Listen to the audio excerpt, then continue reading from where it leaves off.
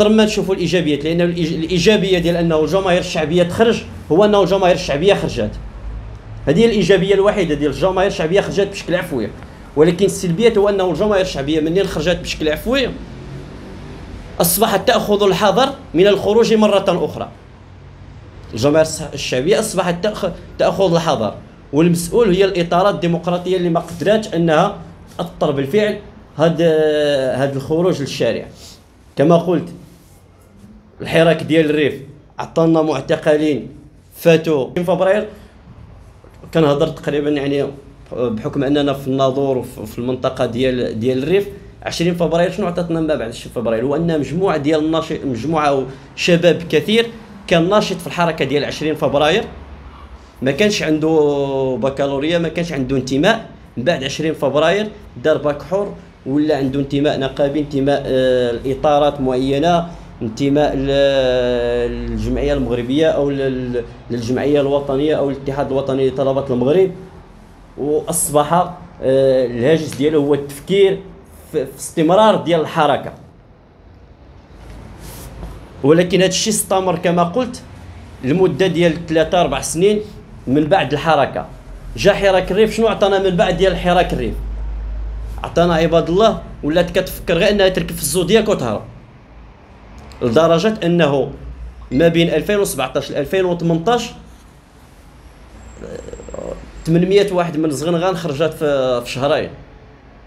هذه من من واحد الفيلاج اللي هو صغير. فما بالك بالريف الحسيمه خوات الناظور كذلك. اذا هاد هاد الخروج وهاد وهاد الهجرة عندها سبب. والسبب ديالها هو النضال. ولكن ماشي هو النضال. هو الأخطاء اللي دارت في النضال هو ذاك النضال العفوي اللي كان غير مؤطر. هو الغياب ديال الإطارات اللي كان خصها بالفعل يكون تلعب هذا الدور هذا ديال التأطير وديال التوجيه ديال النضال. كما قلت بأنه النضال أو الاحتجاج إلى ما جاب لناش مكاسب فغيجيب لنا مخاسر. إلا ما جبناش مكتسبات ما يمكنش نخرجوا نخرجوا تعادل. إلا ما جبناش مكتسبات للجماهير الشعبية فغادي نجيبوا تخويف للجماهير الشعبية. الجماهير الشعبية حاليا دابا إلا خرجت إلا خرجتي ودرتي استطلاع للرأي عند عموم الجماهير الشعبية الكل مكتوي بنيران الاسعار والكل كيعيش تحت القهر والضغط والكل يعي الفساد اللي اللي كاين في هذه البلاد ويعي الاستبداد اللي كاين ويعي حجم الهجوم على المكتسبات ديال أبناء الشعب والكل واعي بالمسرحيات ديال ديال النظام التي أصبحت هزيلة جدا. الغلاء ديال الأسعار وخارجين عند التاجر اللي كيشري مطيشه ب 9 دراهم ما خصوش يبيعها ب 10 دراهم يعني حتى الجماهير الجماهير الشعبية واعية بهذه المسائل. وتعي بانه النضال هو السبيل للخروج من هذه الأزمة. ولكن اللي اللي باقي عند الجماهير الشعبية مازال متخوفة منه هو واش بالفعل كاين اللي ممكن يقود الجماهير الشعبية في المعركة ديالها ويوصلها لتحقيق المكتسبات ديالها. ولا أنه اللي غيقود غادي غادي يديها للأكثر ما داها حراك الريف. هذا من جهة. من جهة ثانية واش الاطارات الديمقراطية والتقدمية؟ على استعداد لأنها تخرج مع الجماهير الشعبية. شكون هي هذه الإطارات الديمقراطية والتقدمية؟ واش كاين نقاش مطروح جدي ما بين هذه الإطارات الديمقراطية والتقدمية. وهذه فرصة باش نطرحوا هذا النقاش. على الأقل على المستوى المحلي. يعني حتى إلا ما تطرحش أو إذا كان النقاش المطروح على المستوى الوطني غادي ياخذ وقت كبير باعتبار أنه ملي كنهضروا على راه كاينة إطارات اللي اللي كان من المفترض أنها تقود معارك دابا ولكن ما خرجت مشات في سياق آخر خصوصا ملي كنشوف مثلا الحوار ديال النقابات الحوار الأخير ديال النقابات مع الوزارات ما غاديش نراهنوا على هذه المركزيات النقابية ولكن كاين إطارات اللي ممكن نراهنوا عليها.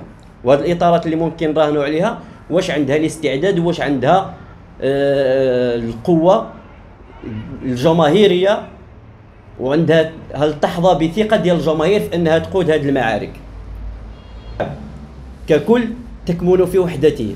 وما كاينش شي إطار ديمقراطي أو تقدمي اللي ممكن يقود حركة احتجاجية بوحده إلا بالتوحيد ديال ديال القوى. حركة 20 فبراير عطاتنا واحد الدرس في هذا في هذا السياق هذا. اللي هو الوحدة ديال أبناء الشعب ممكن آه، الوحدة ديال الإطارات ممكن توحد أبناء الشعب.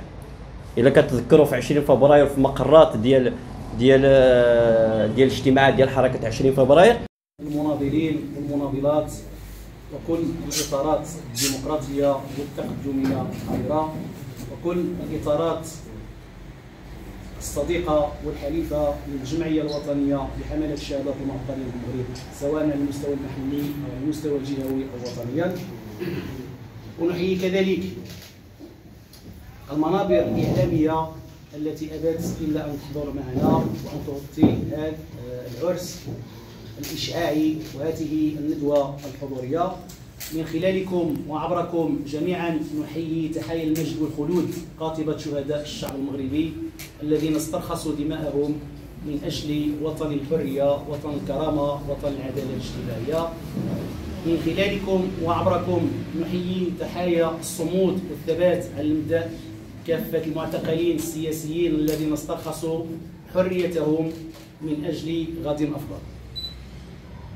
فاليوم فرع النظور منظومة لواء الجمعية الوطنية يخلد ندوة حضورية تخليدا للذكرى الثانية عشر لانطلاق حركة 20 فبراير المجيدة.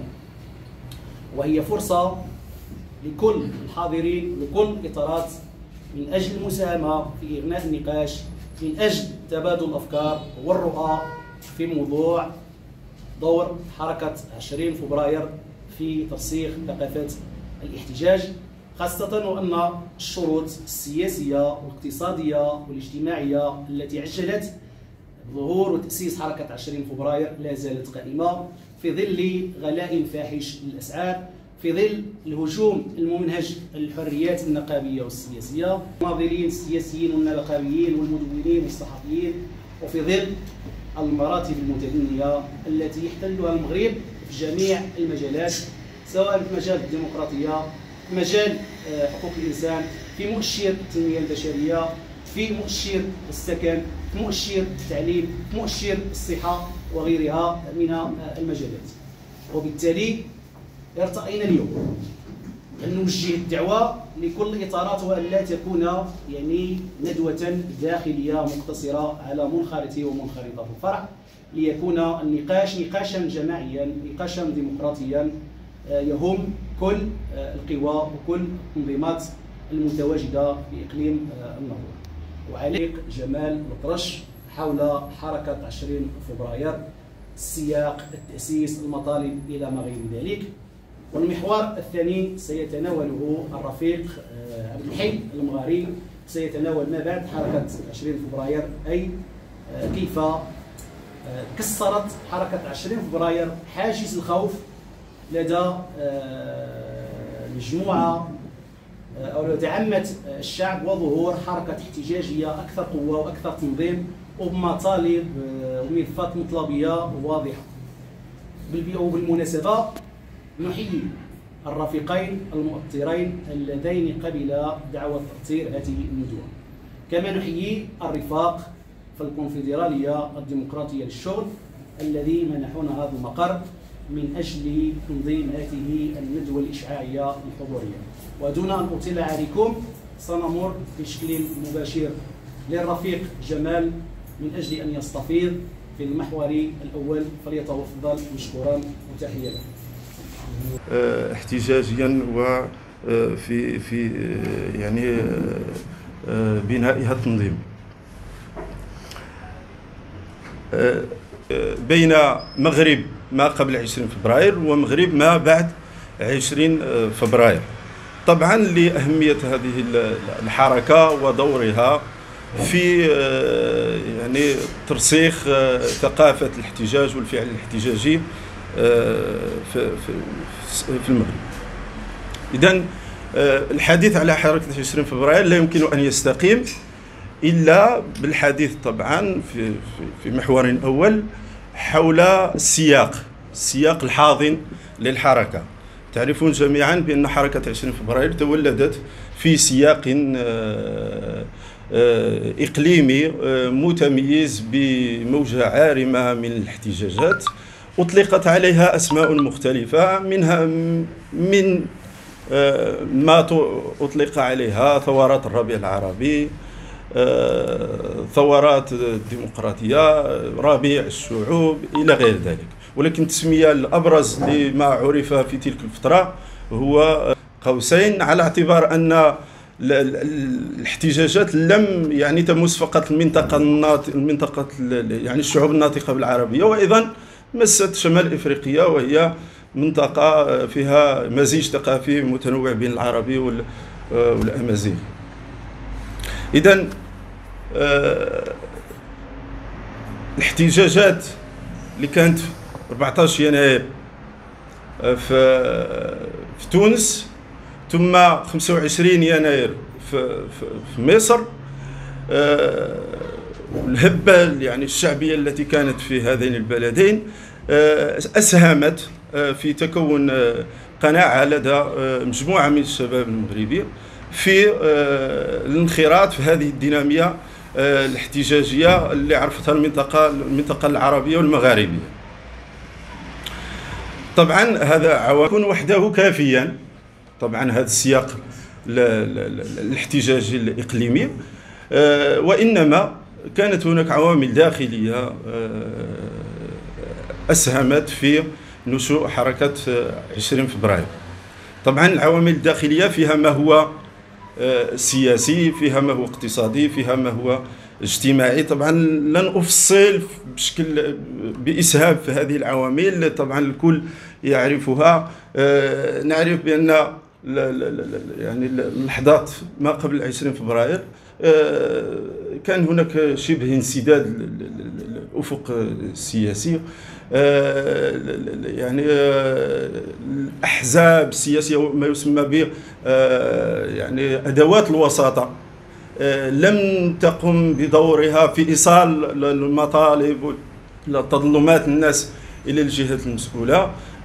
طبعا هذه الأدوات الأحزاب السياسيات من النقابات يعني منظمات المجتمع المدني آه، لم تكن تقوم بأدوارها. آه، خلال يعني فترات مهمة من من تاريخ المغرب إذا استثنى بعض الفترات يعني آه، في بداية الستينات والسبعينات إلى حد ما في الثمانينات وقع وقع إعطاب ممنهج لهذه الأدوات من قبل من قبل من قبل النظام النظام السياسي بين قوسين. آه، كذلك في الجانب يعني الاجتماعي الفقر آه، إلى إلى غير ذلك. يعني مجموعة من العوامل الاجتماعية آه، هيأت يعني الشروط من أجل انبثاق حركه حركة 20 فبراير.